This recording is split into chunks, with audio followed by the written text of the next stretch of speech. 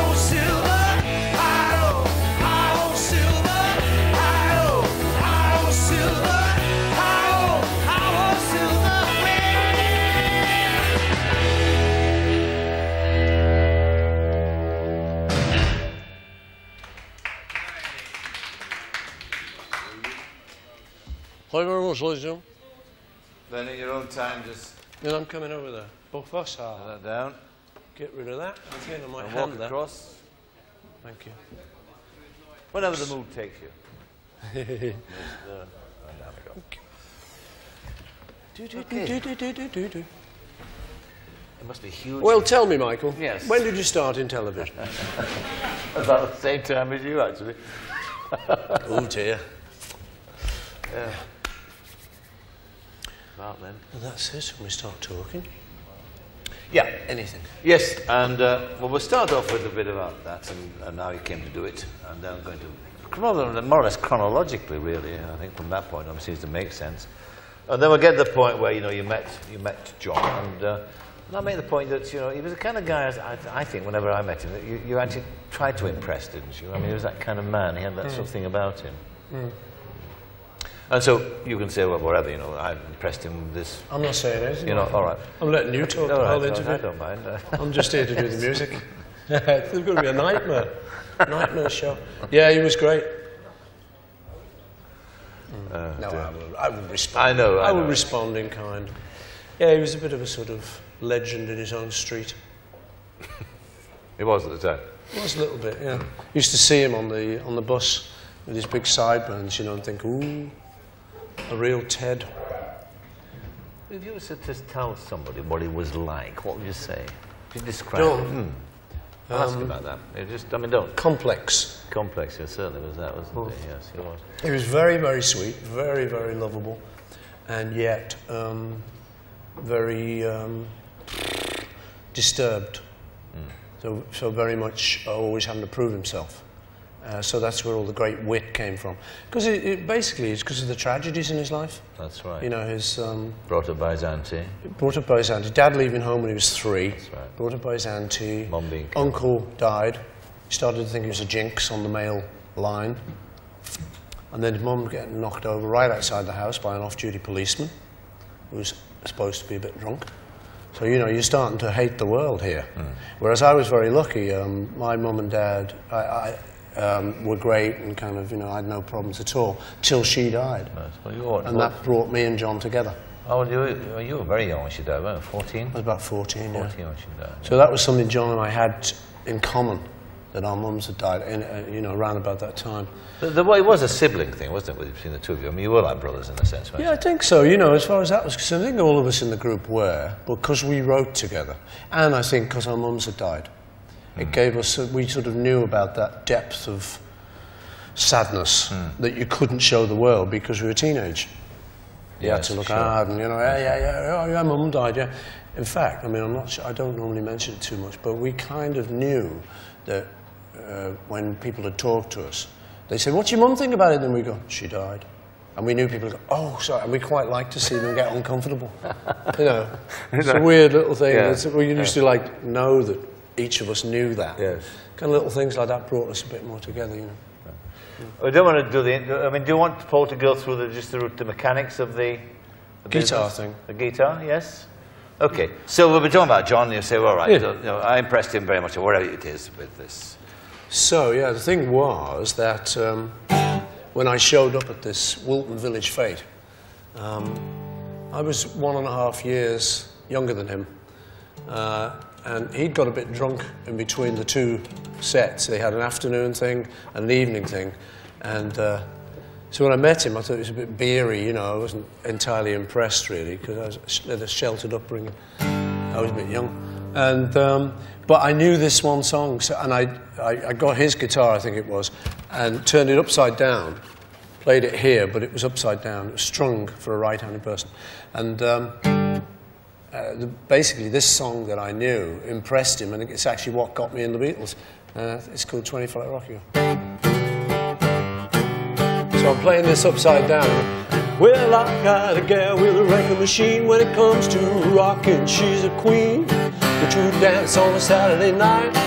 All alone where I can hold her tight. She lives on the 20th floor uptown. The elevator's broken down, but I'll walk on two flat, three flat, four, five, six, seven, flat, eight, five more.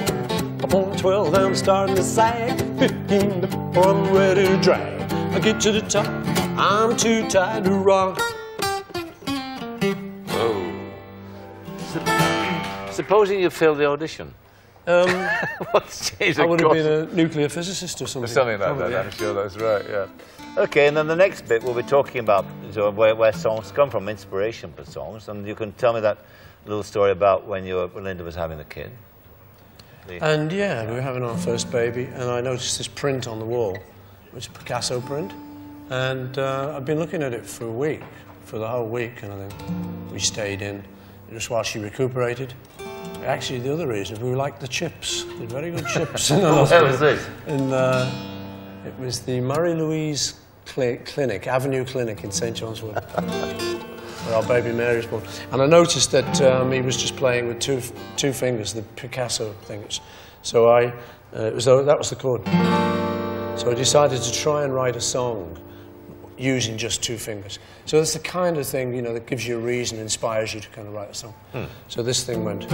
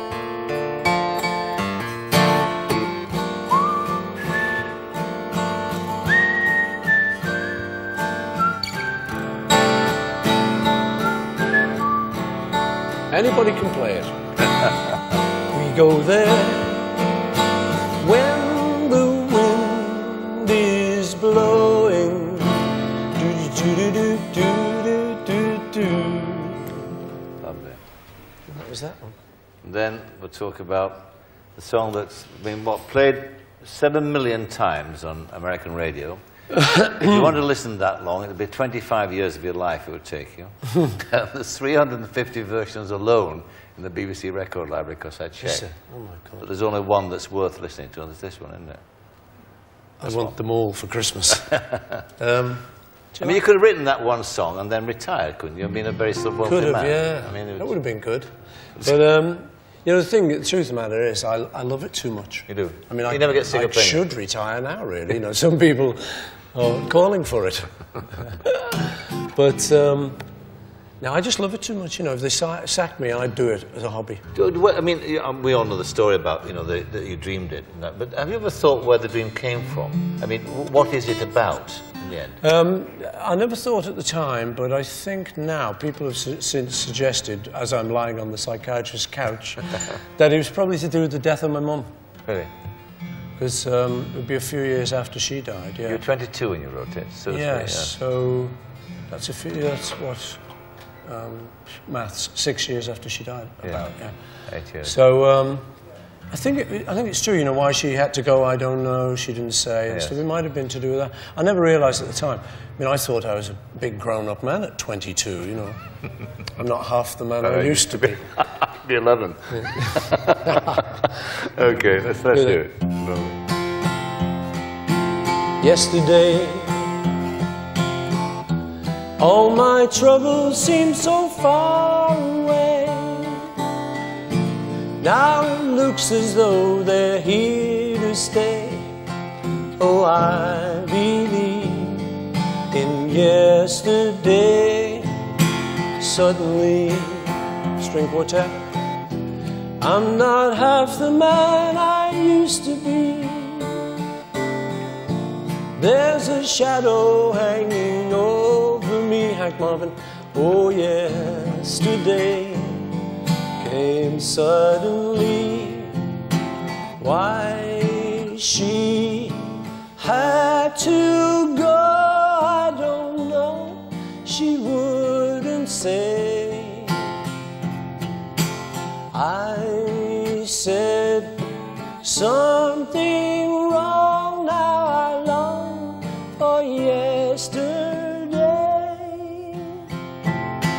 Yesterday, love was such an easy game to play. Now I need a place to hide away. Oh, I believe in yesterday. Short version. Mm.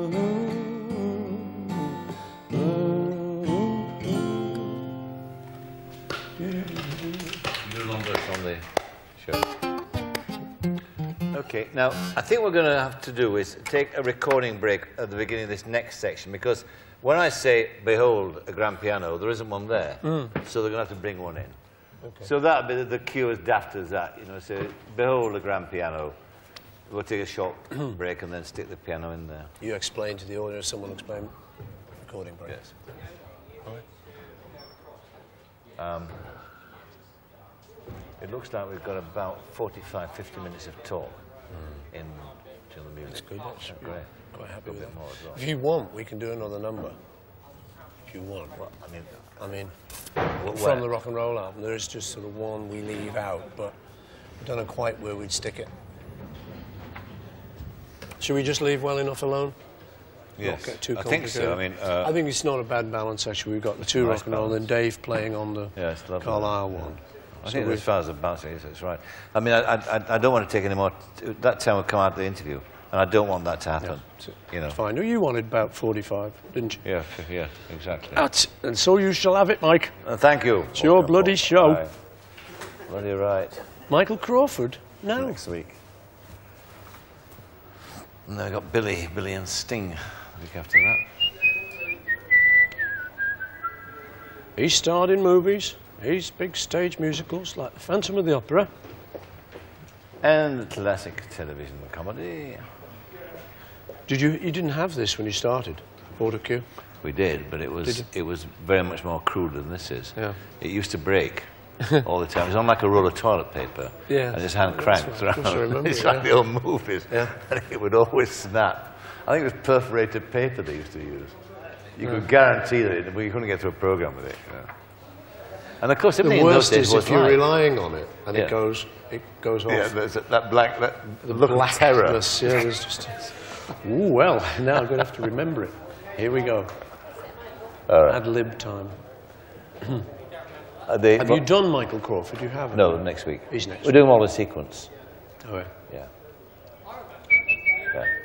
Okay, all right. Okay then. So behold a piano. Recording me. Then come back. Behold a piano. Let's have a, a classic. One of your Thank you very classics. There. Dum de dum. Applause. Thank you very much. The song my grandmother wrote. The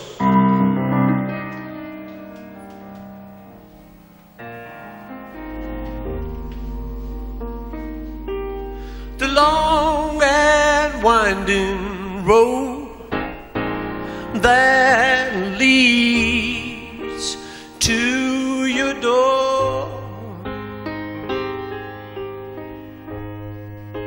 will never disappear. I've seen that road before. Mhm. It always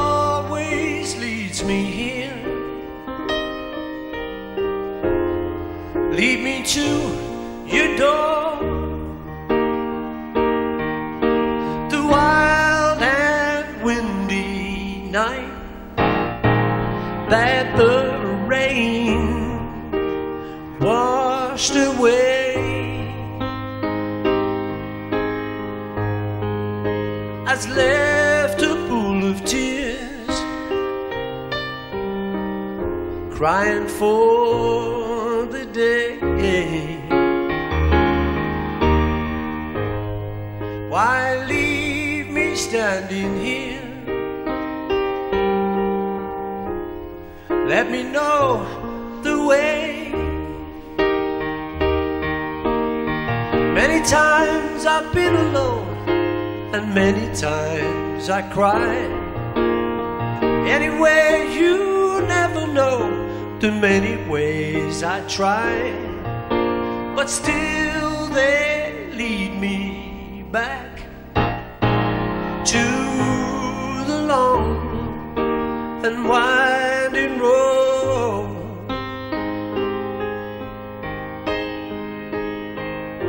You left me standing here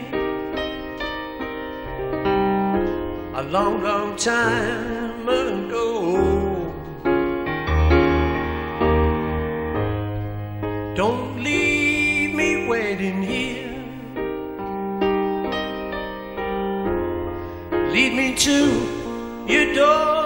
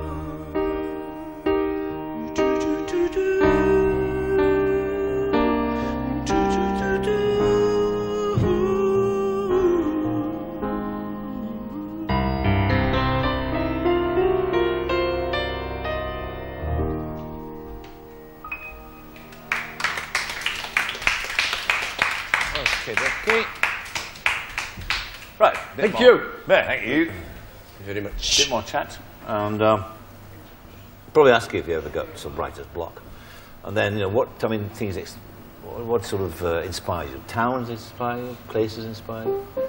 Then, Um, yeah, it could be anything really. You, you never know your luck, you know, what could inspire you. But I happen to be in New York this time and uh, have this lovely apartment. Da-da-da-da. I'll tell you all about it, nice and fresh. And um, so I wrote, This song there. It's just a new one. I'm kind of working on stuff. so this I- is the world premiere, is it? It's the world, World premiere. premiere. Better get it right. If I don't, I'll stop and start again. Here we go.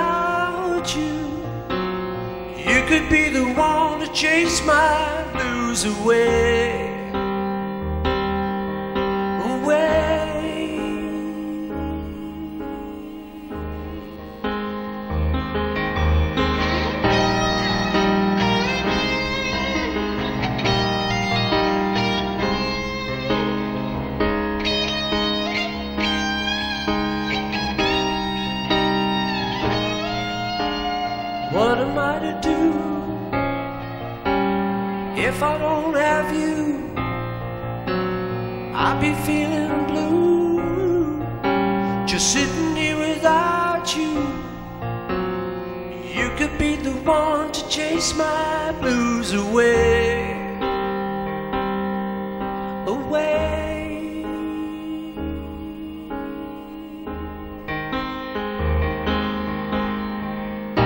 So how can I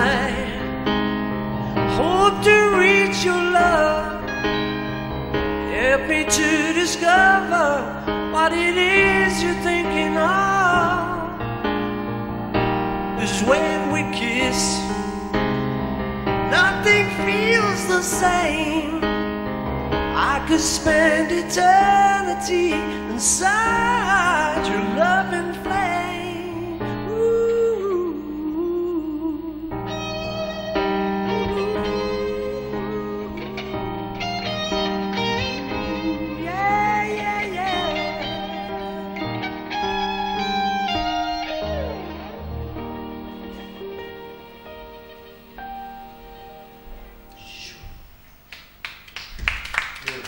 Thank you, love.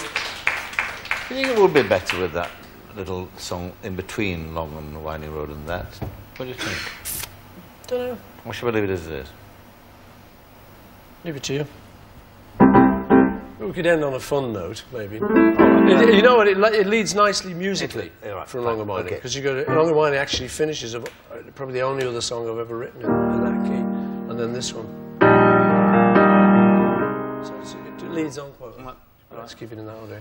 And then this other one, Mike. Then this other one.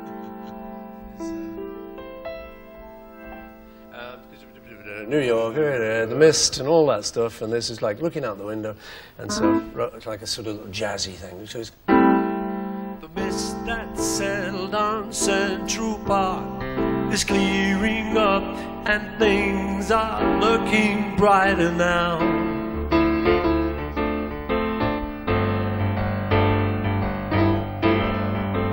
So let's go walking before it's dark. The mayor of New York City says he might allow the whole of old Manhattan to belong to us.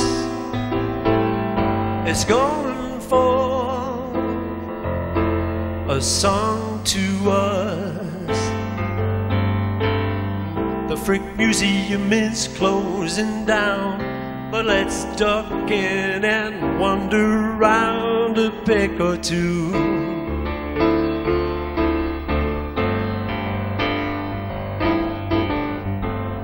Then we'll grab a taxi and head downtown, where every street magician does a trick for you.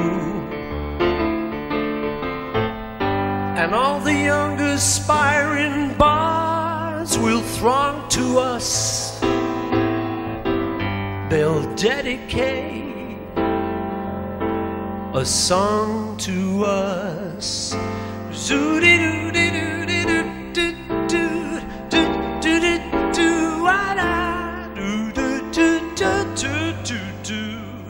Yes, in old New York, Zoo Central Park.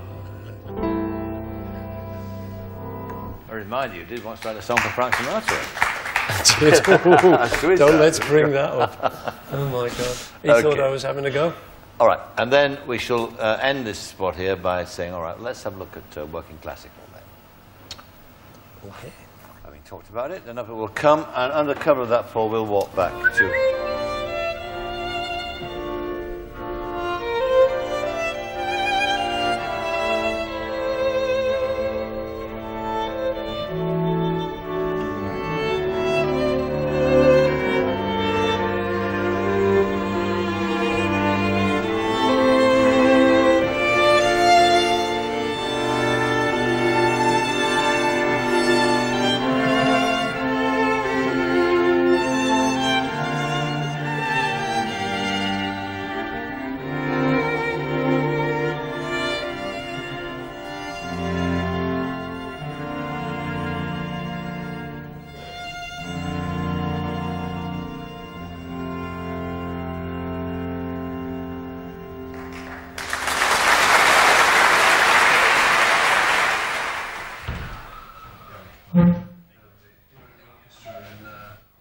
Did. Uh, we played at Carnegie Hall with Joe Linder. Actually, got to know him a little bit. That was another reason for using him. And uh, we used to laugh about uh, Krista, the lead violinist, in her big hobnail boots, you know, and the, the long dress and that. But she's all right by us. How did you put the band together? Was it, I mean, what do you, how do you go about it? You just It was. you put an um, advert in, in It was a, music matter of, it was a bit of luck, really. Um, I knew, I've known Dave Gilmour a long Gilmour. time. Uh, we'd worked together, and uh, so I knew he'd be great. And I asked him if he'd fancy doing it. He did, and I knew he was a bit of a rock and roller, even though he's known for Pink Floyd uh, and the sort of epic thing. And I knew he went back to the rock and roll thing. Mick I'd worked with before. Mick Green, who used to be in Johnny Kidd and the Pirates, and uh, we did a thing called the Russian album, which was only available in Russia. Which really pissed the Americans off, something rotten. They could only buy it in, from Russia, you had to order it. We had some funny times doing that. Um, but I digress. And then I didn't know Ian, but uh, looking Ian around for a drummer, Ian Paice, and um, producer I was working with, Chris, said he'd just seen a TV show. Said he'd seen him on it and he was playing great, and he's a really great drummer. I said, well, you know, let's do a bit of guesswork. And we asked Ian if he'd do it, and he did.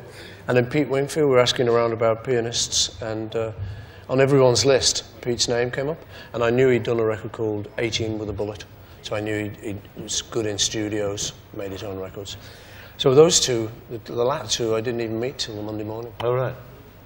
such was the nature of the project. Well, it's a great fun making records like that, actually. I mean, It's, it's, it was, you know, like when I that. look back on my recording career, it was Yeah. kind of the, the, the best period, I thought. It was the early Beatles period yes. of working quick and having to think on the spot, not having a long time to really think what you were doing. Yes. Just had to dash it off. And if something went wrong, you had to think of a way to fix it quickly. Yes. Which, you know, often uh, is, is a better way. Yeah. And by the end of the week, you've got 20 tracks done. That's also a better way. It also suits the music, that kind of approach. to I think so too, yeah. Because, I mean, if it's... I like the idea of making the next stuff that way. Really? Maybe fussing with it a bit afterwards. Yeah. But certainly doing the live, trying to get that live feeling so you get the spirit on the track. Yes. And then you can tart it up a bit if you want. Yes.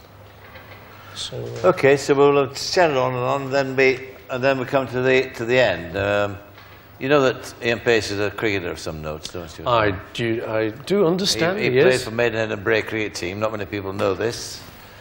I don't think he knew it at the time. Cricketer. yes, used to live in the fisheries. He- Very Did you get the grapes? he sent the grapes. Okay, so another track from the album then, and this again is a classic. All shook up. Aye. Aye, There away we you go go. then with your band.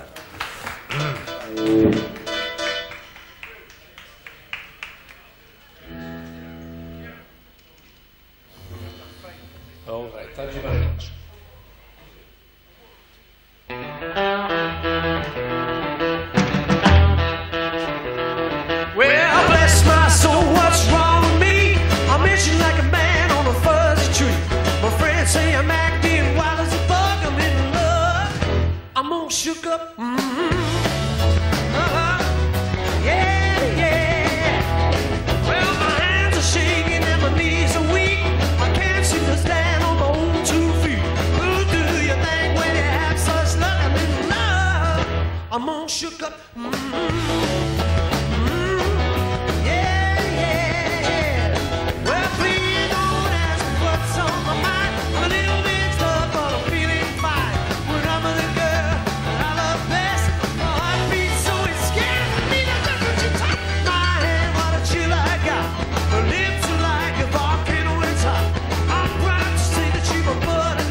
In love.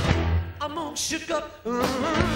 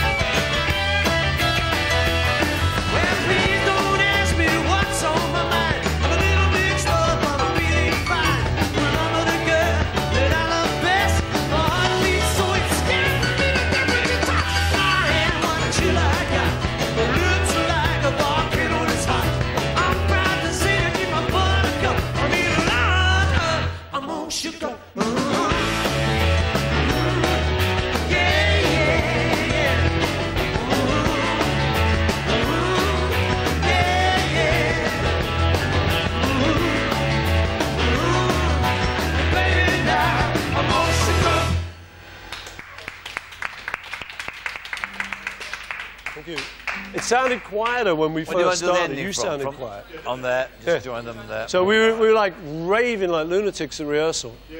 So keep it up, lads, keep it up. You want it lousy? I think so. Well, whatever you were, have you turned down? Down and dirty. I think if you just keep to your sentence that we had at rehearsal, that just sounded a bit more polite to me. And uh, Pete, I wasn't getting your vocal in there. Oh, she got. Were you doing it? Okay. So I was missing, missing uh, Pete on uh, the oh sugar the harmony thing. We just try that a little bit. Just um, just just uh, just do a verse, yeah. So uh, do, do, do, that's Heartbeat so it's scaring me death when you touch my hand. What you like? A volcano, it's hot. I'm proud to say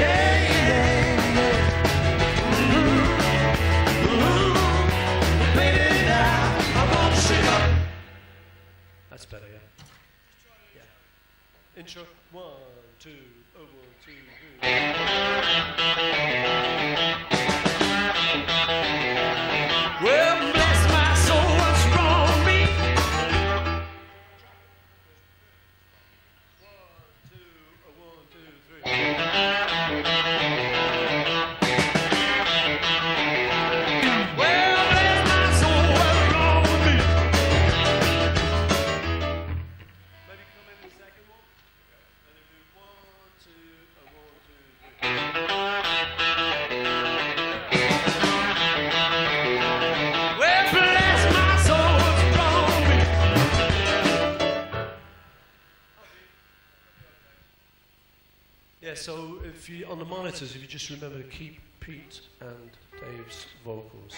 Actually, for me in my monitors, Dave could go down a tiny bit, and, and that was it was good at the end though, there, where we ended up. Yeah. Thank you very much.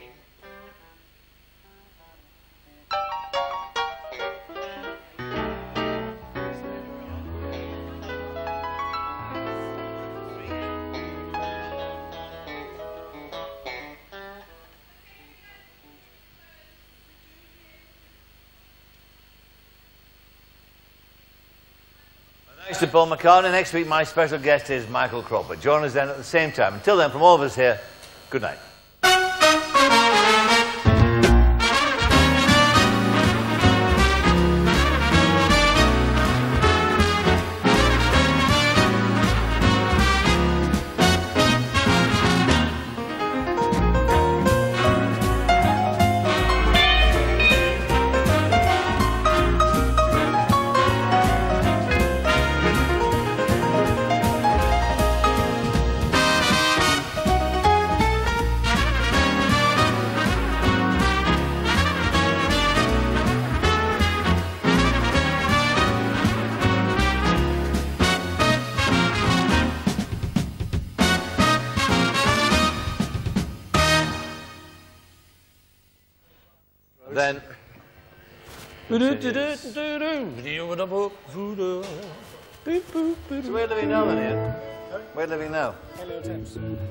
You know Henley, that's why you said that. That's, right. that's a nice, nice town, actually. You played cricket together? No, we didn't play together. No, no, I was um, You're on the president of team. the club.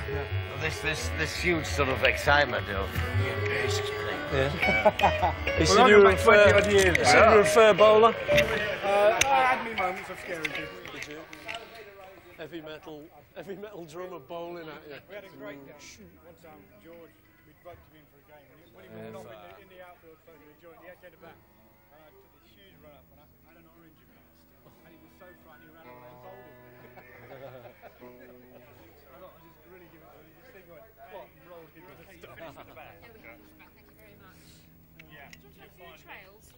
So what was the sound thing there with Mickey?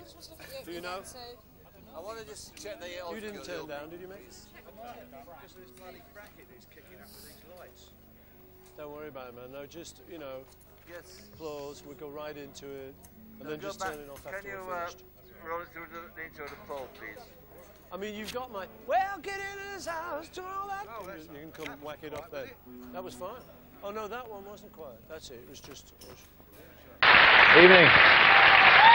Welcome. I first met my very special guest in the early 60s when he was part of a band trying to break into the big time. They called themselves the Beatles. Funny name. We thought it'll never catch on.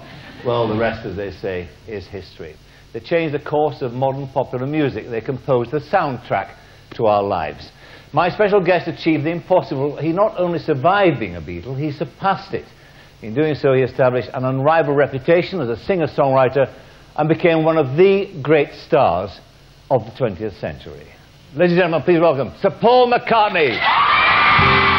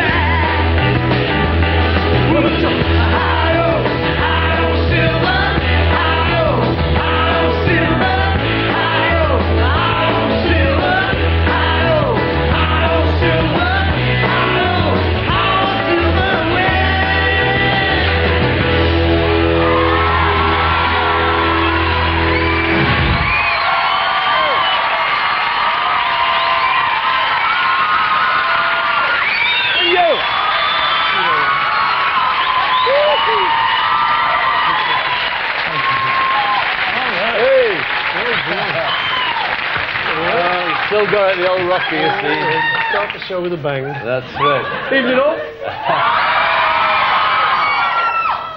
Oh, you said good evening. So why rock and roll? I mean, why back to basics with the, that record? Oh, I just love it, you know. It's um, one of those things. I always said I want to do a rock and roll album, and before the end of the 20th century, I thought I'd better get it done, you know. So was it was that the best time of all the old days of rock and roll like that when songs like that were the, the currency? Yeah, I think it started it all, you know. I mean, that particular song called Honey Hush, I first heard it by a guy called Johnny Burnette. And um, I was a teenager, and me and George had gone to stay. Me and George? me and George had gone to stay at John's flat. um, yeah, so I remember I got this image of John sort of getting out of bed in the morning and sort of leaning out, getting the ciggy on, putting this record on the dance set. And uh, we'd been up all night, I think, not much sleep. So they've got memories like that for me, you know. So I wanted to do them. I love it. Those, I mean, we'd associate you now, of course, with rich and famous and successful and all that. But those early days, I mean, just when I first came across you, it was a struggle, wasn't it? Yeah, I mean, uh, we used to come to your show, come to Manchester, half an hour down the East Lancs, which is now some great big motorway, and um, we'd come and sort of go and do this show of yours. You know, people and places or That's seen right. at six thirty, Six thirty. That's right. It was. and we thought we were famous. right. You're not to know you conquer the world. Never mind Salford. Well, in Manchester, that was it, wasn't it? That's End right. Edge of the world. What was this this record also too? Was it a way of, of kind of working your way through grief from you know the death of, of Linda? I, I think so, a little bit, because uh, she'd always said to me, she loved the rock and roll, she'd always said to me, you've got to do that rock and roll album. I said, yeah, I'll do it, I'll do it, I'll do it. So I think when she died, you know, I thought, you know what, I really have got to do that rock and roll album. Um, so I left things for about a year, didn't really want to do anything, wanted to just sort of see how it was going to affect me, you know, rather than just jump into work and get busy and try and ignore it and deny it all. I thought, no, 30 years with a, such a beautiful woman, I've got to see how this is going to affect me. You know, I don't want to hide all my sort of feelings. So I took about a year doing that. And then when I was ready to work again, I thought, it's got to be that rock and roll album. Right. And, and how did it affect you? I mean, what what, was it like? I mean, it's an awful Um, question to ask anybody. Yeah, it's, uh, well, you know, I, I didn't expect to be sitting here being asked that. You know, I expected to be 80 year old on the porch on our rocking chairs, you know. But um, it, it was very difficult, of course, you know, it was very sad because we thought, we fought against it. We, t- we did everything you could possibly do. Uh, so to the last minute, you know, we thought we might have cracked it. You know, always, there's always hope. Um, so when when she did die, it was just a terrible blow for me and the kids, basically, So, I and all her family. nothing prepares you. I mean, you had the two I years. don't think you can get prepared for that. No, it's just it's just horribly sad, and um, I think you know, as I say, I just decided that instead of just saying, right, that's it, I'm British, oh, you know, get on with it. I thought, right, I'm going to sit here and cry, you know. So I did. I just anyone who came round who just cried. Hello, I don't know you. um, but That's you not know, very it- British, is it? It's, was it's very Irish, of course. Very Irish. Very Ah. Irish. Well, God bless the Irish. But of But, course, um, I mean, in, in a sense as well. I mean, you, you've been through this terrible grief once with your mother too, haven't you? So Yeah, that was one of the sort of frightening things, really, because uh, as the as it was going along, there were little echoes that I remember from my childhood of it happening to my mum. Um, one particularly is uh, I remember mum getting tired, and us kids didn't really know. I remember my dad saying, "Well, go upstairs, love, and have 40 winks." So I like made sure I, when Linda got tired, I never said to her, "Go upstairs and have 40 winks." You know, you get a bit superstitious and all that. stuff. Yeah, so it was um, not very nice at all because she was such a beautiful woman, you know, a strong woman. She's a difficult woman to lose. And also, too, of course, I mean, you had this remarkable relationship, didn't you? I mean, it being remarkable, you know, in any case, but in the business you were in, it was extraordinary. It was unique in a sense. we were very lucky. I mean, you you were kind of two sides of the, of the same coin, weren't you, in that sense? Yeah, she was, um, you know, my girlfriend, really. Mm. Uh, we kind of got married, you know, I got kind of knighted, she became Lady Linda, but we're still just boyfriend and girlfriend in a way. You know, we were very lucky. Gorgeous kids together, you know, so Yes. uh, we spent a lot of time together. Yes. That was a great thing. We never really wanted to be apart. People would say, well, you know, why why aren't you on your own tonight? We said, well, why? She's great, you know, I like Yes. her. I like sleeping with her, she's good. so it was just very natural, you know, it just fell in very naturally and uh, very honest with each other. So we're very lucky. I mean, that's how I look at it now. I'm very, very lucky to have had 30 glorious years with her. You know, it makes it harder to lose her. But there are some people who have, you know, 70 years and don't really like each other. So, Yes. you know, that happens too. You said she was a strong woman, and indeed she was. And of course, your mum was a strong woman too, Mm-hmm. wasn't she? I mean, tell me a, a bit. No, I mean, she was a midwife, wasn't she? She was, uh, yeah, and a nurse originally and a midwife. Had this image of her going off in the snow one night in, from 72 Western Avenue in Speke in Liverpool, and uh, cycling off on her bike in this deep snow with a little basket on the front and her nurse's uniform, a little, you know, suitcase on the back, going to deliver some baby, you know. The nurse must get through. Ring, ring. He's like, what? Goodbye. Um, But she so was the dominant, very strong. the dominant person in your in your I think life. she would have never admitted to that because women didn't in those days. You know, they let the fella be the dominant one. Yeah, sure. you know. But they controlled it very quietly, as you know. The northern women, particularly. Well, I don't know. In my case, you know. But was she aspirational? Did she have ambitions? Oh yeah, she was. She was the one who uh, got us upwardly mobile. Really? Yeah, because uh, we always lived in the midwife's house, see? You know, we lived in uh, 72 Western Avenue, and then she spotted a better midwife's house in the new bit down the road, so we moved there. And uh, then she thought the area was a bit rough, Speke, you know, which is pretty rough. Um, and so she moved us to a posh bit where there was a, it wasn't a midwife's house this time, but it was actually virtually the same house. I mean, I've been back, I was just back a couple of weeks ago, and I went round it, I, I realised they're all the same house, just in different areas, you know. What do people say of when you go back there? She I mean, moved the house. without telling you. She did it. But they, I mean, because your house now there, uh, one of the houses there, is National Trust property. It's got a plaque on the wall, isn't I it? know. So I you, you go back there, show the kids. I haven't it. been in since, actually, no, because I'm terrified to go in. Because, you know, I used to live there, and it's now a National Trust thing. I thought of just jumping over the fence and, you know, Yeah. breaking in. You take the kids there and show them where. Well, where you, what, what I used to do before it was made a National Trust place, um, I would always, whenever we got up there, because I love Liverpool, I love, uh, you know, I, every street's got a little memory. I'd go past, drive the kids when, they- when they were a bit younger, and I'd say, oh, there's where we did our first gig, oh, there's where I used to walk down here with John, and oh, John will live up there, and there's the park where we went, you know, there's the golf club, where we tried to get the caddy's job, uh, and whatever, you know, all that stuff. And we eventually pulled up at 20 Forthlin Road, which is the, uh, the, the National Trust one. And we're just sitting in the car outside. And uh, it, say it was just an ordinary house then. And I'm saying to the kids, oh, there's my bedroom. And my dad planted that lavender hedge there and doing all the stories. And some old fella comes past. And he just looked at us. He says, yeah, he did used to live there. That's lovely. isn't what about going back to those to those days, those early days with the aspirational mum and, and you, this bright child, this grammar school boy in, in, in, in Liverpool? I mean, what were your ambitions in those days? I mean, what did you want to be? Do you want to be rich and famous?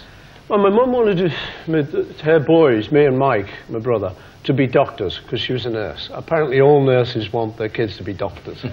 um, but we couldn't do that, I'm afraid. You've got to be clever um, and very, you know, apply yourself. My report was always he could do well if he'd apply himself. And Your report was. yeah. was it? I used to actually tell my kids, I'd, I'd try to, now, come on, kids, you've got to apply yourself. Come on, you know. I did well at school and all that. and they eventually found one of my old reports, and it, it, was, ter- it was terrible. It was like, um, you know, he's the biggest disappointment in the class. They're going, ah, gotcha. Said, well, it was one year. So, so what uh, was the motivation? Because you're an ambitious man. I mean, you had ambitions. You. Without, I actually, I, I would have been anything that made a lot of money. Like anyone in those days. You know, you would have, dentist was the big career. They make a lot of money. Accountants and stuff. But I couldn't do any of that. I wasn't, uh, I wouldn't apply myself. But, um, so I, I got enough to become a teacher, which I nearly was a, an English teacher. I, got, I managed to scrabble together five GCEs over a period of 10 years. Mature student. Yeah. But um, the Beatles came up before that, you Yeah. know. Well, I mean, you, you met, well, you met George first of all, didn't you? And then, George went to the same school, yeah. Then, and then you- there's this historical meeting almost now in, in the sense of the history of music with, uh, with, with John. Tell me about that meeting. What, I mean, that first Well, encounter. um, we had a friend in common uh, who went to school with us, uh, went to school with me and George. He was called Ivan Vaughan. And he used to be in one of the little skiffle groups that John was in. He used to uh, jive with Ive, the ace on the bass. and he used to have one of those tea chest basses, you know, it's a bit of string on a, on a broom handle, on a tea chest. That's how you play. And um, so he said, you should come along to this thing, you know, this group's playing, and my mate John's in it, you know, Woolton Village Fete. He said, you should come along. So I, I did. Uh, me and Ivan were born on exactly the same day, so we were good mates. We went along and just uh, saw this group on a little stage there. And the singer, who was John, just looked like he had something, you know. Did you audition? Well, um, what happened was they did their first thing and then they had a break and then they were due to do the evening thing. So the break was an opportunity for the band to get drunk, really. And uh, so John was, he'd had a few beers when I sort of finally said hello to him. But um, yeah, I'll show you the song. Yeah, What, um, sure. I just happen to have a guitar.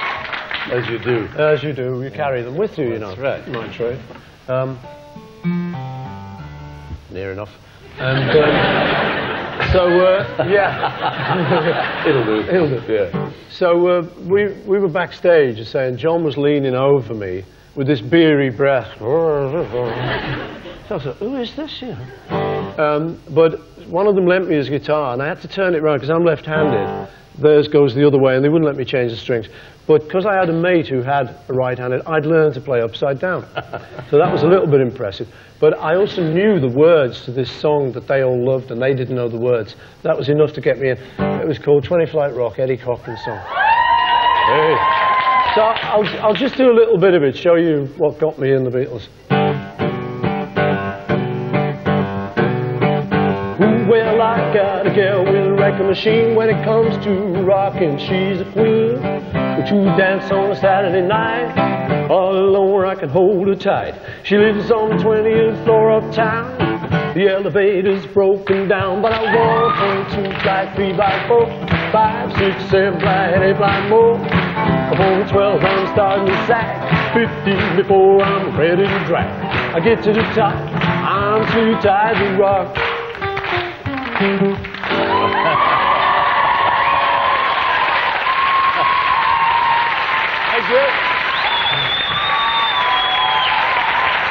Yeah.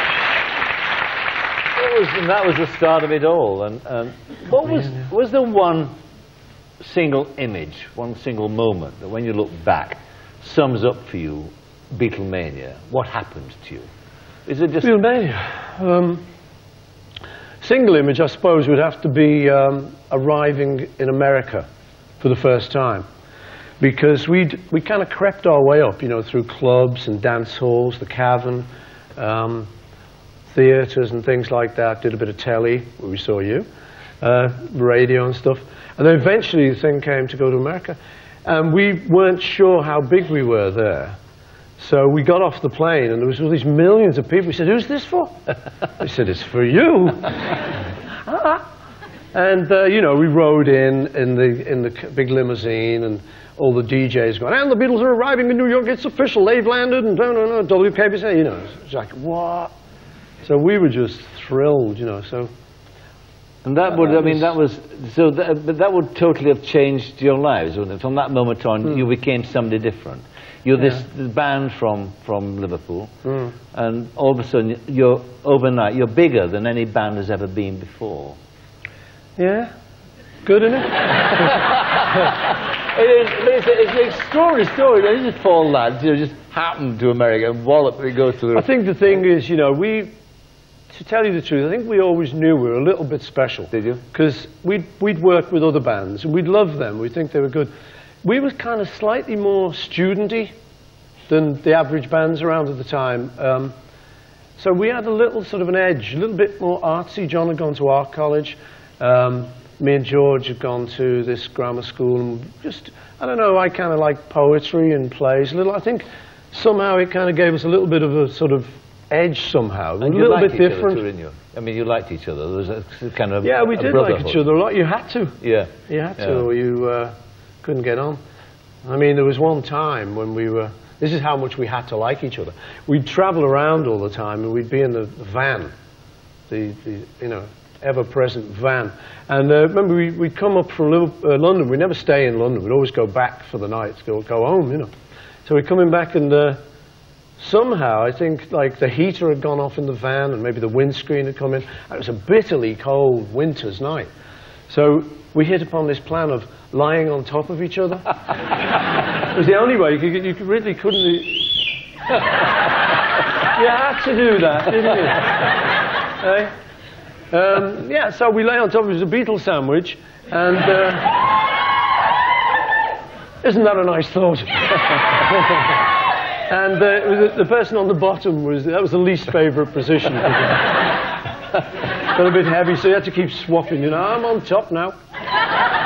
If that was remarkable, the, the, the four of you hitting it off and creating this, this extraordinary um, scenario, what was even more remarkable, perhaps, was that within it there was Lennon and McCartney, who became, you know, these extraordinary songwriters. Um, and when you think back about that, I mean, that was a, I mean, just how did that happen ever? The, the two of you got together from, and there, there, there were these two people around at that same time that got together and wrote these wonderful songs. I mean, I don't know about how we got together really. It, it was just, um, I'd seen John around. I'd seen him on the bus. He was a bit of a Ted. We used to call him Teds, then Teddy Boys. He had, uh, you know, a long draped jacket and he had side sideboards. So he was a bit, ooh, he was kind of guy you'd look at, he's cool, on the bus, you know. And uh, eventually got to meet him through Ivan, as I've said. And uh, he liked songs, I liked songs. And the real reason was that any shows we did, if, if there were other bands on the bill, sometimes they'd do our whole act before we went on. You'd be sitting in the dressing room, you'd hear, Long Tall Sally, what did I say? My God, and they're doing all They're doing cover versions of so they, we, we all did the same stuff, Sure, basically. It was out of the charts, you know. Right. So we hit upon this idea that we'd either would look for obscure B-sides of records that they wouldn't know, or finally, the, the real great light bulb went off, we'll write our own. So I think actually that's really the only reason we started writing, just to foil these other sods. and, and, and where did the inspiration come from? I mean, how did the two of you used to write? I mean, what was it like? Was it a formal thing? Let's write a song now, John, or what? what, what Yeah, it'd be like that. We'd go home to, uh, normally to my house, because his Auntie Mimi wouldn't have us at hers. Um, my dad was at work, see, so we could sneak off school and go there. And um, we'd just go, and it was literally just, let's try and write a song. And we wrote a, f- a few quite bad ones at first. Um, but then we started to get a little bit better, and the inspiration just came. It always comes from all sorts of different places, you know.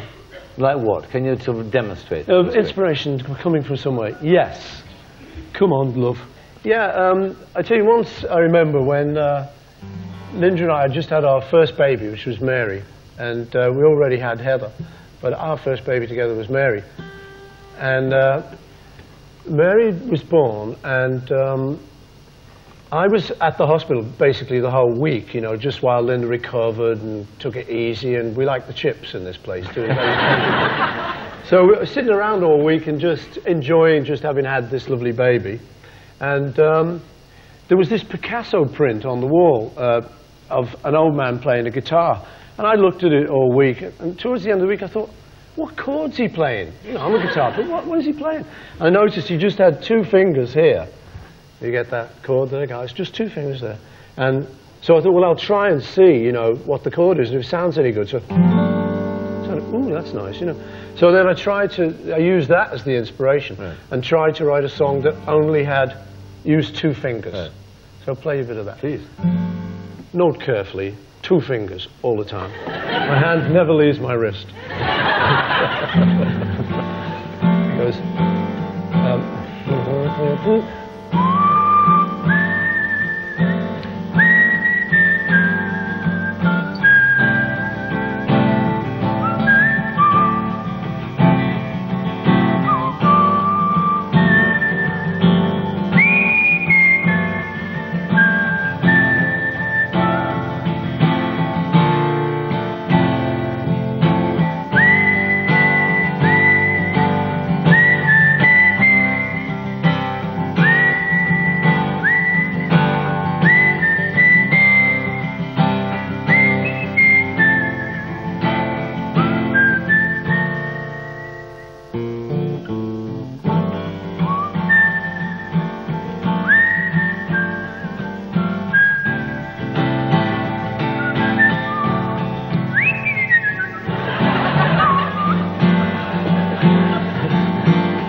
goes anyway.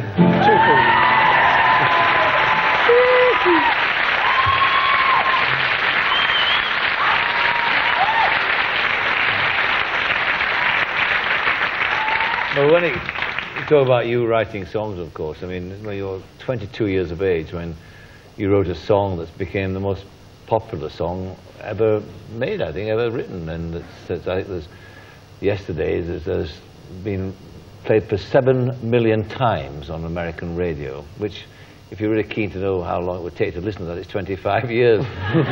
And- We haven't got time We haven't got time for that. But, I mean, we, we know the, again, talking about inspiration, I mean, it's, it's now legendary, you know, that, that you dreamed that, that, that, that phrase up in your mind, and then you sat down and called it Scrambled Eggs or something, was, Yeah. was the original title of it. But I mean, since that time, you performed it many, many times, it's become the song you're most associated with. Have you really thought where the song came from now? Have you been able to work it out? I don't know, you know, as you say, um, I uh, dreamed it and woke up one morning with the tune in my head and uh, didn't believe it was mine really. I just thought, well, it can't be because I've got the whole tune, you know, it never, it never happened like that. So it is strange, it's sort of the most successful that I didn't even write it really in a way, but my subconscious kind of wrote it.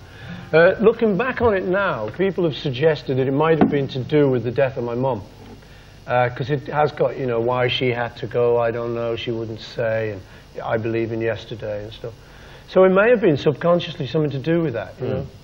But um, I don't really know, you know, it's, it's just nice to have written it. And it's kind of, you know, it's magic, it's one of those magic things. I believe in those magic moments, you know, they sometimes just happen to you. I don't talk about it too much in case the magic doesn't happen again, you know. Let's hear this lovely song. You wanna hear do, you, do you ever get tired of doing it? Yes. No, I actually don't do it that much. It's only when I go on tour I do it, or when you ask me to. so over the seven millionth and one. I'm trying to remember it now.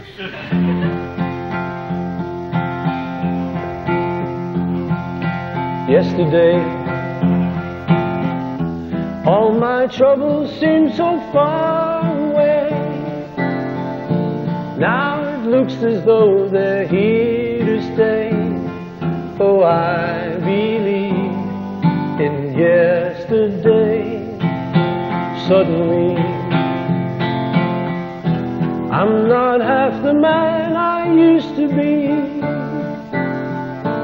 There's a shadow hanging over me. Oh, yesterday came suddenly.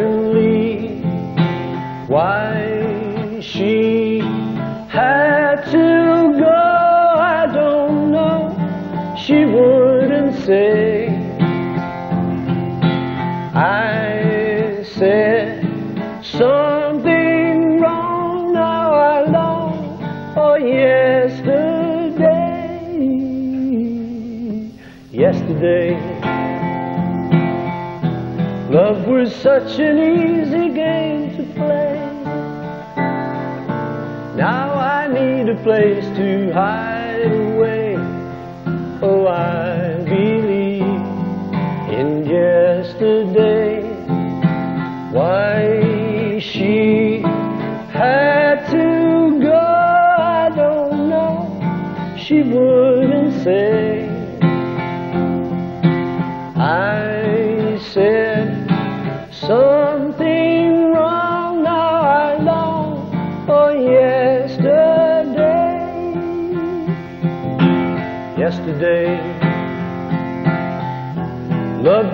such an easy game to play.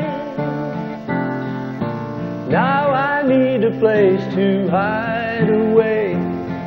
Oh, I believe in yesterday.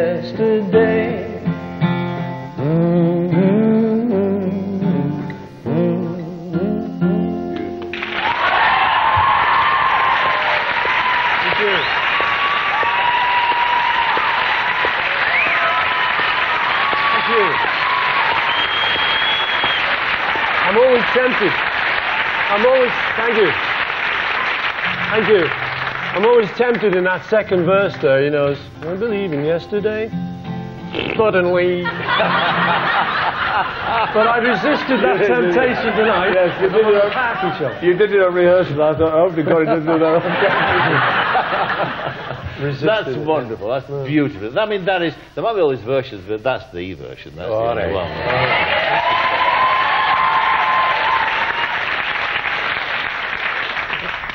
Tell me about this. This. Uh, it's still amazing that, that all these years after John's death, that there's still this debate about the two of you about there's all the, the history being rewritten, revisionist history, and John's this and you're that. First of all, for people who didn't meet him, what was he like? Describe him to us. Tell us. John, he was beautiful, very beautiful. Um, he was a very complex guy because he had a lot of tragedy in his life. You know, his dad left home when he was three, and he didn't see him till he got famous. He went to live with his auntie and uncle. The uncle died. I remember John telling me he started to think he was a jinx on, all, on the male side, you know.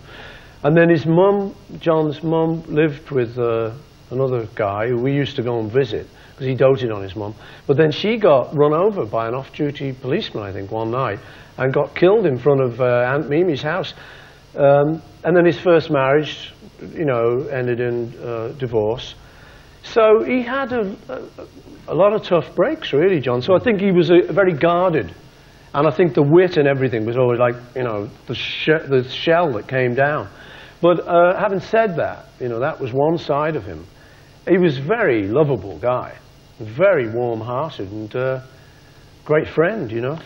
I mean, how upsetting was it when the, when the split occurred, when, when you and John, no, not just the Beatles, but you and John had this rift, where some very cruel things were said, particularly about yourself, by, Yeah. by John?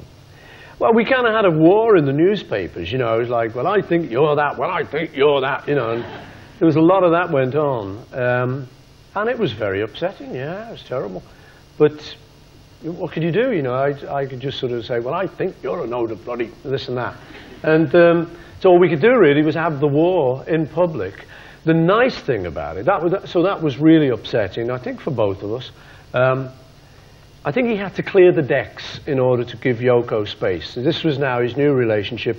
And being a good, loving guy, he had to kind of get rid of the old mates, you know, in order to give her what he thought a woman needed, you know, him. Um, but the great thing about it was that after all that warring, before he died, we did make it up. So Wh- What was the point where you did? I mean, what was the first approach? Was it by accident or? But there were all sorts of approaches. I, I would come to New York and sort of say, you know, let's get together. Yeah, what do you want? what do you want? Well, I don't want it. I just want, yeah, oh, sure, pull the other one. But, you know, there was a lot of that.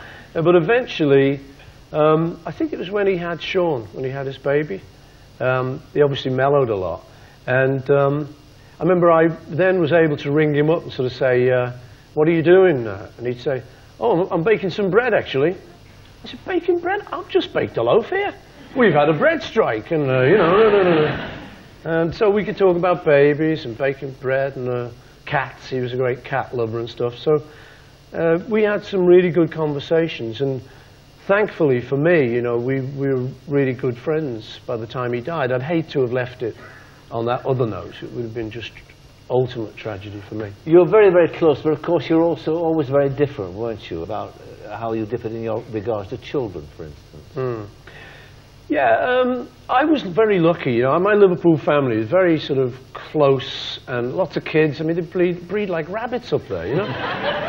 it must be awful for them. But, um, but um, no, so I had a lot of experience with kids. I was always being handed off here. You hold the baby. You've got to learn to jiggle it and do stuff, you know. And John never had any of that experience. So when he had his first uh, boy, Julian, I think, uh, and the Beatles was going on, he didn't have much time for him. So I think th- it was a bit sad that John didn't really have uh, enough time. And one of the very poignant moments for me was I knew how to play with kids just from having seen so many and uh, relatives' kids and stuff. And uh, we were on holiday somewhere, and I was playing with Julian, and we were on a little boat actually. So I was doing that one you do with kids. Okay, now I'm the pirate captain, and you're my mate. Okay, let's go over here. Yeah. okay, now I'm gonna. Do, do, watch out, Indians. You know. Julian goes, yeah. So we're playing this, and uh, we got on great. And then John came up to me afterwards, and he just said, "How'd you do that?" and it was like so poignant, and it was like? You know, I, can't tell you in a Do, couple do- of do you think had he had he not been been killed as he, as he was, that, you would have been together again, that you would have written again, that you would have been a partnership again? I don't know. It would be. It's nice to think we would. Interesting, isn't it? Yeah. Thought on what might have been there. When when the when all this happened and, and the Beatles were, were no more, and, and you were kind of uh, segregated in a sense from the others. It seemed to be them against against you. It was over money, and Hmm. and in the end you were proved to be right in a sense, weren't you? Because you were right about Allen Klein. What it was all about. And I think John, in fact, admitted that toward hmm.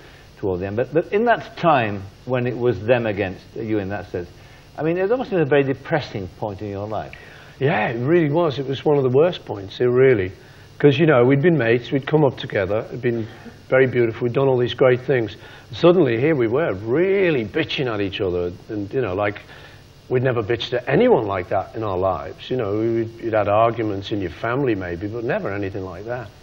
And, yeah, I, I was very depressed.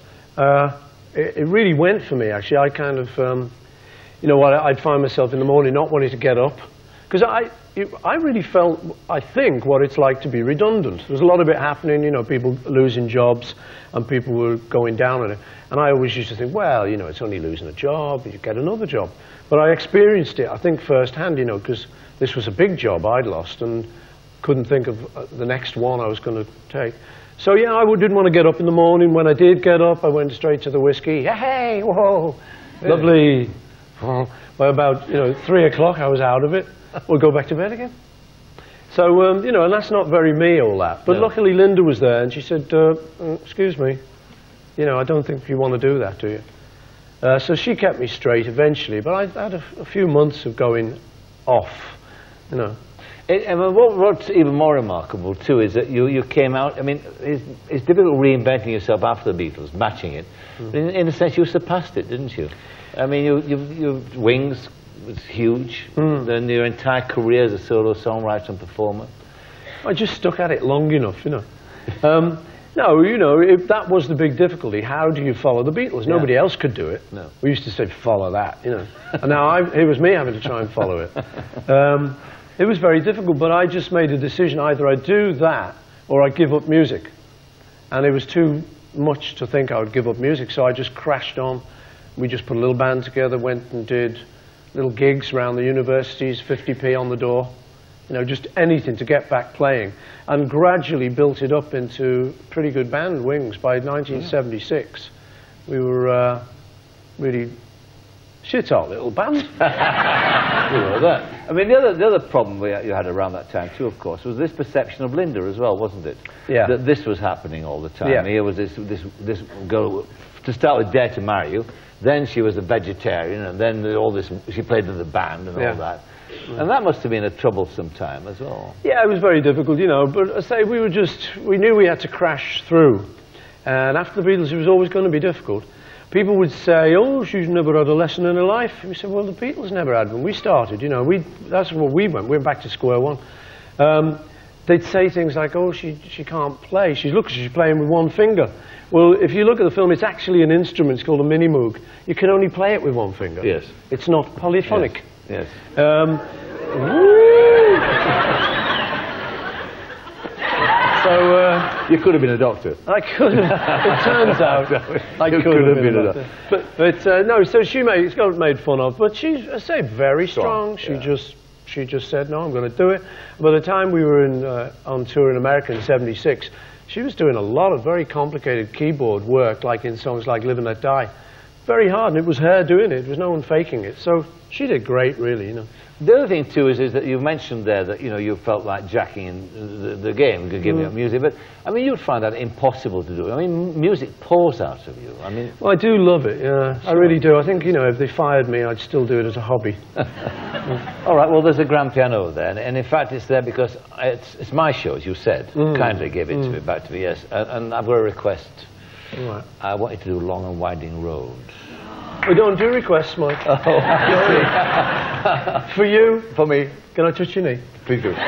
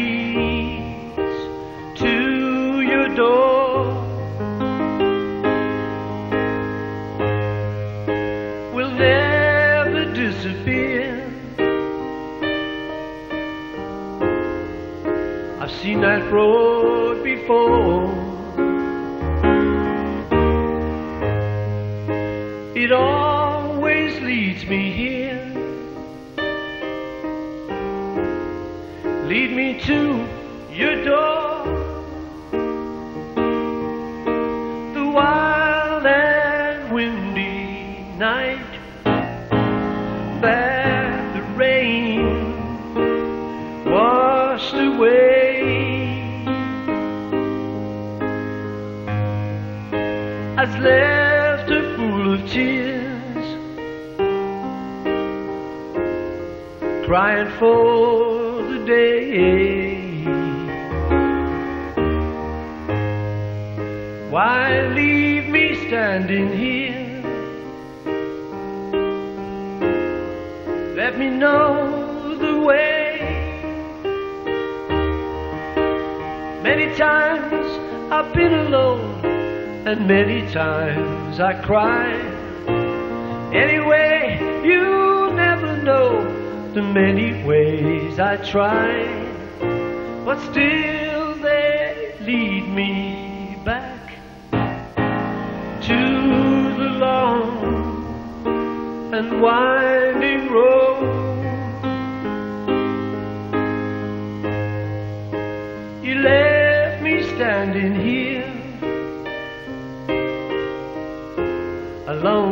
time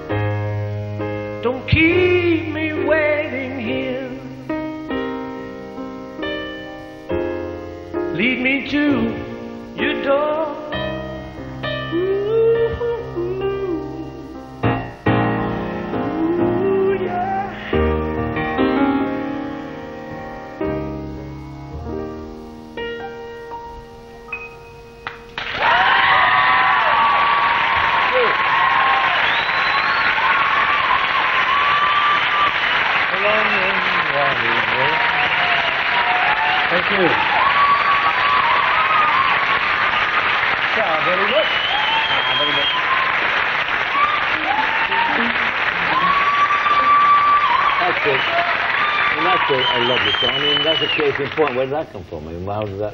Long Winding Road. Um, I was sitting at my piano Oh, the other day. the other day. Uh, yeah, just sometimes, you know, uh, sitting at the piano is enough. Just doodling around, you just something comes, you know, if you're lucky.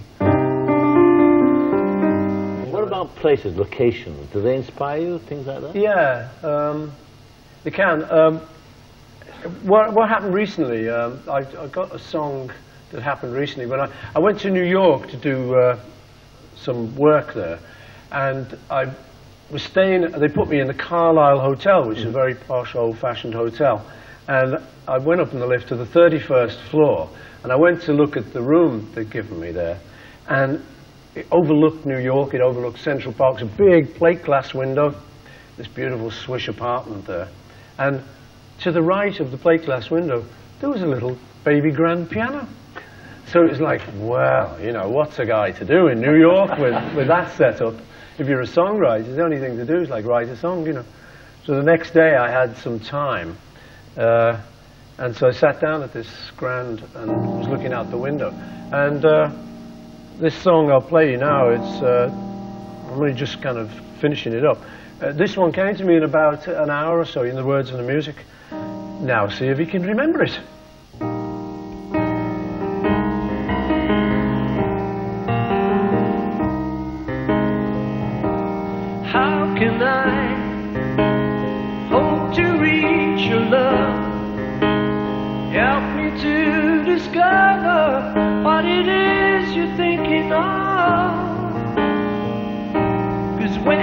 Kiss, nothing feels the same. I could spend eternity inside your loving flame. What am I to do if I don't have you? I'll be feeling blue, sitting here without you. You could be the one to chase my away. Away.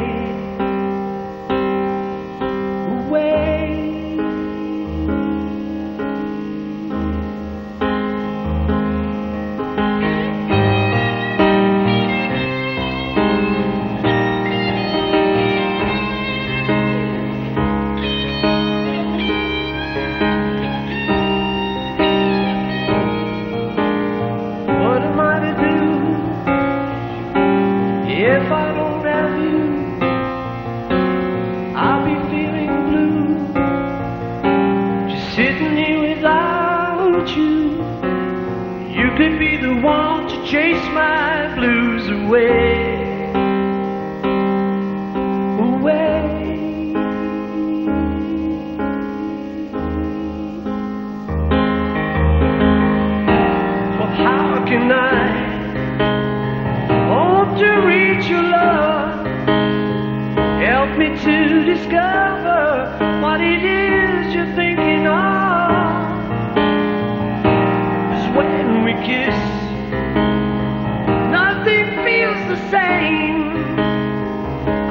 Spend eternity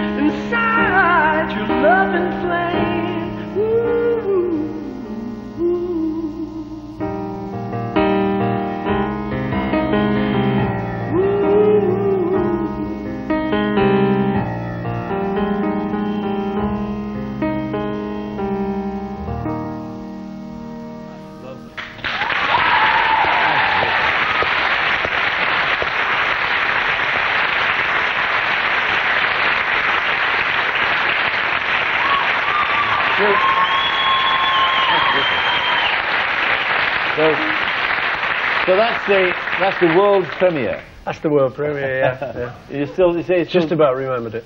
yeah, and an hour that or it took your words and and Yeah, you know, sometimes they just come really quickly, you know, and I think just the setup there in the Yeah. hotel and everything was yeah, so. inspirational. And actually, the next day I was still in the same place, and I'd uh, that evening I'd been to see a, a mate of mine who's a kind of cabaret pianist, Richard Rodney Bennett, amongst other things. And uh, he was playing at this uh, place, the Algonquin Hotel in the Oak Room, which is very New York, you know, and doing a real sort of New York thing, cabaret thing.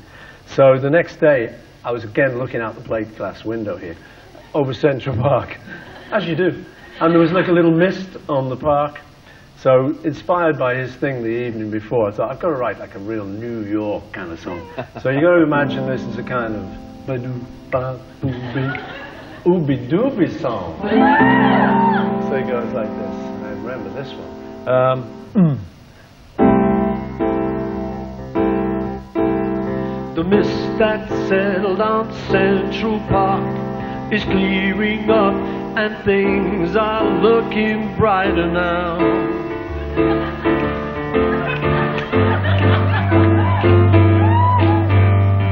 Let's go walking before it's dark.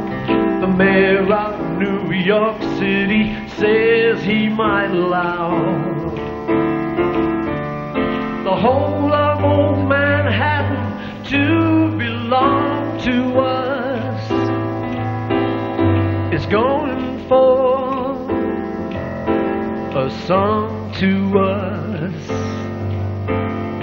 The Frick Museum is shutting down, but let's duck in and wander round a pick or two.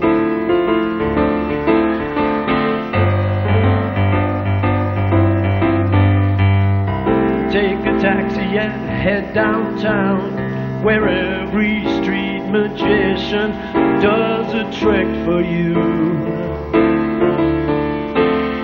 and all the young aspiring bards will throng to us. They dedicate a song to us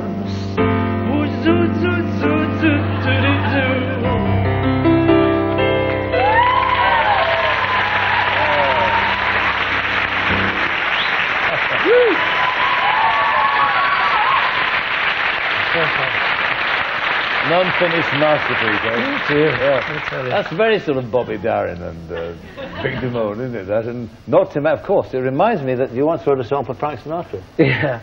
Well, that was a disaster. Was it? Yeah, that was because you know when we started off, um, that was because we weren't necessarily uh, necessarily necessarily necessarily um, we weren't like into uh, totally rock and roll. There was there was a little bit of sort of jazz and cabaret. It was on the kind of crossover point. So I think you know one of our big ambitions, most songwriters, was to write a song for Sinatra.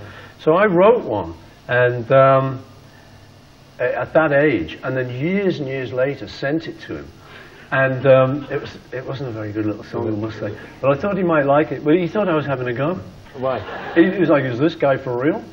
it was like, uh, oh, I don't know how it goes. It was a, mm, mm, mm, oh, uh, it goes like, mm, if when she tries to run away and he calls her back, she comes. If there's a next time, he's okay, cause she's under both his thumbs. She'll limp along to his side, singing a song of ruinite. Betty says nothing doing. I, I call it suicide. As soon as he kidding right? Oh my God. Oh, so he, he turned it down. I don't know why. So I've, I've been turned down by Frank Sinatra. That could have a profound effect on his career. That, that oh. one song. What, I mean, have you ever felt like bothering to learn how to play an instrument or read music or write? music? Are you having a go now? I was wondering, you know. I mean, Learning to play an instrument. I'm on your show, Mike. the boys. you know what I mean. No, I know. what you mean, Yeah. Um, no, no. I've tried a few times. I tried when I was a little kid, and didn't get on with it. Too much homework. They used to keep, you know, go and learn how many crotchets in a minute. Three, you know.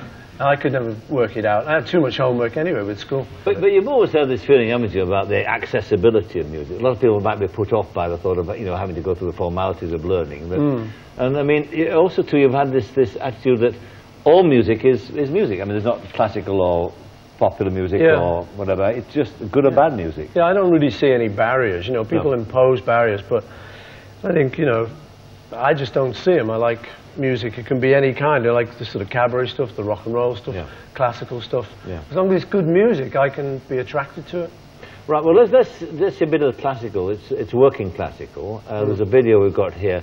And uh, this, this piece we're about to, to hear has got a, particular kind of poignancy, hasn't it? This- Well, it's a song I wrote for Linda um, called My Love. And uh, when she died, we had two memorial services, one in London and one in America, one in New York. And um, on talking to the kids and thinking what kind of music, if she could choose, she'd like, we thought she was such a great supporter of mine, we thought she, she'd probably like to hear my songs. Um, so we asked a, a string quartet to do them in New York, and uh, this version is the one that these are the people from that service who did it so well, you know. Let's have a, let's have a look and a listen.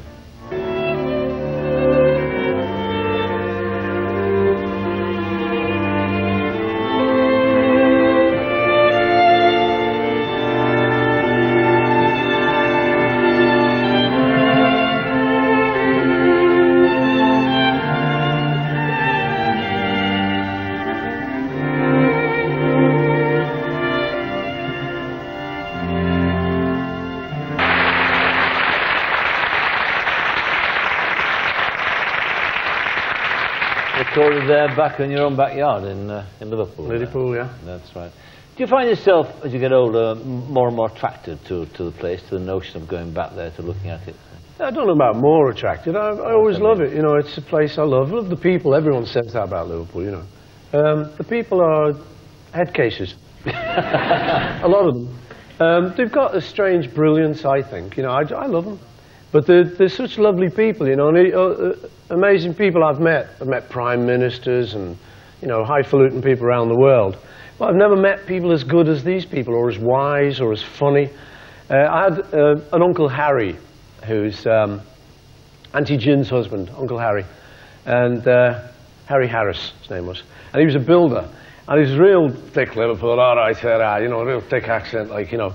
And he was a bit of a boozer, he wouldn't mind me saying. He was proud of it. Um, but uh, once my cousin Betty had uh, decorated her flat. She was newly married, and she and her husband Mike had decorated the flat a kind of nice pale mushroom colour. And Harry came round, and he was having a little drink and stuff. And uh, she happened to say, uh, "What do you think of the uh, the colour, the mushroom colour? Do you like it, Harry?" Because his opinion was valuable, you know. He said, "Ah, yeah." He looked at it. He said, "Ah." He said, "It's all right, fan." He said, "It looks like boiled shite."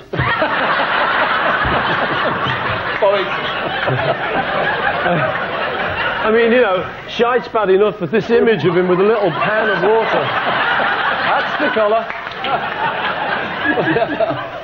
What's, I mean, the, the, the perception Harry. the perception people have of you, of course, when they before they meet you, and uh, is of this this kind of godlike icon figure, you know, this this huge. Well, you, you see, you go like that, and when you, but it's true, you know. But uh, well, when you when I read about you, you have this this other perception of yourself, don't you? you that, that person up there performing is somebody different. Yeah, you know, I think uh, it's, if you believe that you are this great godlike figure, I think it goes for your head, you know.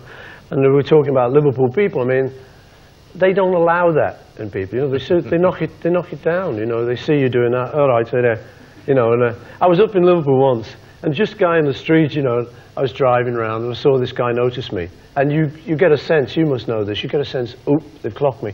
So I'm just driving there, and this guy's looking at me, smiling. And he, he looks at me and goes,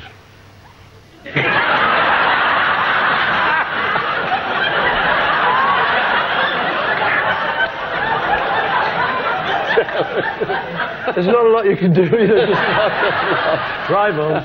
But, but, uh, but I mean, it, it must take some doing in the sense that, you know, the life that you've led and, and all those sort of outside influences that have been on you and the, the, the, everybody knowing who you are and whatever. It must be difficult for you and your family. I mean, it must take a, a huge effort, a huge will to, uh, to actually achieve any degree of, of normalcy. Yeah, well, um, yeah, so the Liverpool connection's great for that. And then when Lynn and I got together, um, she liked normal life. She was from quite a rich American family. She never used to think she was rich. She said, no, I wasn't rich. I said, I said, but who used to do the cooking in the house then? She said, well, my mom sometimes. She said, and then the cook, or, you know, the maid. I said, well, you're kidding. Nobody has cooks and maids where you're from. You're, that's rich, you know. And so she used to like to hang out there with, with whoever was cooking. That's what she became such a good cook. But um, so she wanted to keep very much our feet on the ground, and for the kids and for us both. So you know, we um, we did that. We we put them through state schools instead of Eton and all the posh schools. Even though our friends say, "Oh, Paul, you've got to give them the best chance in life." The son's got to go to Eton, of course. Get his name down. So, yeah, I could imagine him coming home. Hello, Papa. All right, James, how are you doing, sir? Very well, thank you. Papa. He couldn't, you know. So, I mean, you know, nothing against Eton. Very nice people, I'm sure. So what about the, the future then? You've got this new record out, Run Devil Run. Yeah. We're going to hear another track in just a moment. All Shook Up we're going to hear, eh? Rock and roll. Roll. so and you're going to the to take it on the road, aren't you? The band. Well, we are actually going to do a gig before the end of the year at the Cavern in Liverpool. Well, it only takes about 150 people. 300, takes 300, you get you all in. Be a fabulous close to the millennium. That It'd be be rocking out the century, I reckon. Yeah. Well, Paul, thanks a lot. I much enjoyed uh, talking. I waited a long Yeah, time. it was lovely, Yeah, yeah. was good. You enjoyed it? Good man, yeah. Excellent. All Great. right. Paul McCann, thank Cheers, you. thank you. Thank you.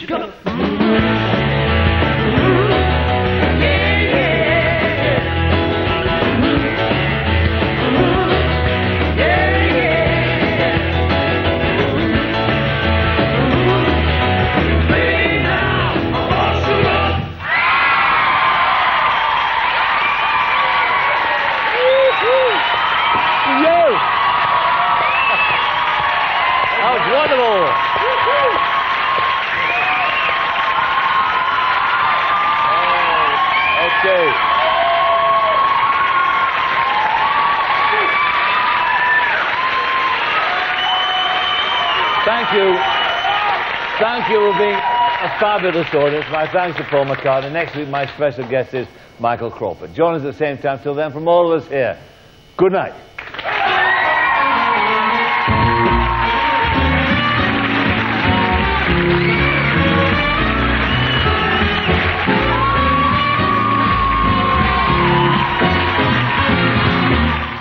Jeremy Paxman is head to head with David Bowie. That's in Newsnight over on BBC Two in a couple of minutes.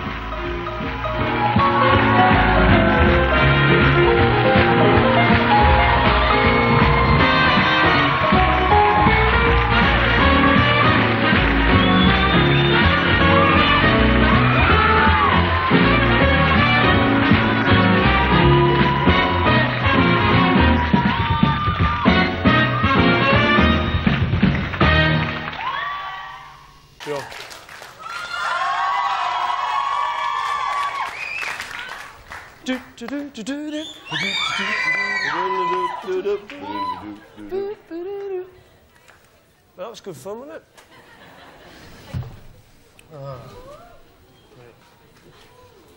So, what are you going to do? We're gonna do the great stars of 20th century. He is, of course, Sir Paul McCartney. Join, what do you want? Join us at whatever or what? Just that? Is that all? Good? Yes? Yeah, so be aware. You'll be in shock.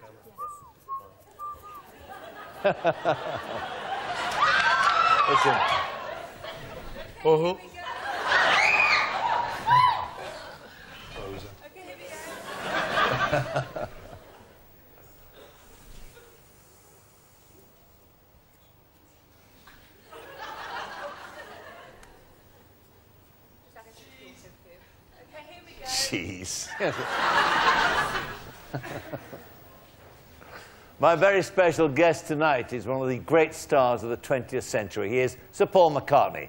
Join us on Parkinson.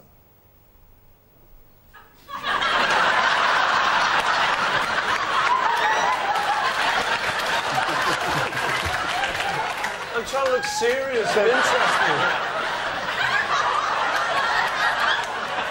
You just, oh, no, like that. Is Paul clear? Is Paul clear? All right, all right. Just do two minutes. Right Stills. Oh, we've subbed some stuff tonight. eh? By God, I- if we haven't, we're going to. He starred in movies, big stage musicals like Phantom of the Opera, and the classic television comedy Some Mothers Do have Have 'Em. He's one of the best entertainers in the business. My special guest on Parkinson this week is Super Trooper Michael Crawford.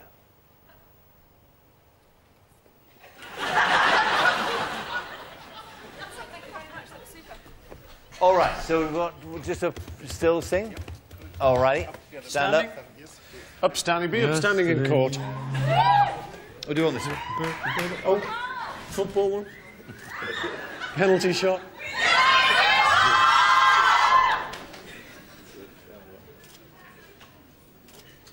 I'm not kissing him. I don't care what you say. Thank you for Is that being. us? Are we done? Yeah, come on, Laurie. Ah, Laurie. Have your picture too. Come on, man.